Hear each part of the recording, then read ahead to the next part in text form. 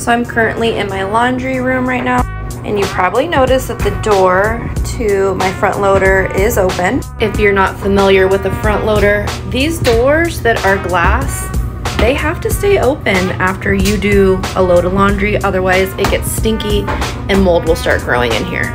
There used to be a door here, but for obvious reasons, we remove it. This area also gives us access to our garage, but this open door drives me crazy and someone always ends up shutting it and if it doesn't stay shut then it opens up by itself and it stays like this. So of course I went to Amazon and I found a solution for this problem and this is what it is. So this base is a super strong magnet. This top portion is flat and this is adjustable. So this is how I bent mine. That way it keeps it open and closed at the same time. But if you're like me and you're struggling with some space issues in your front loader doors, this is a great idea.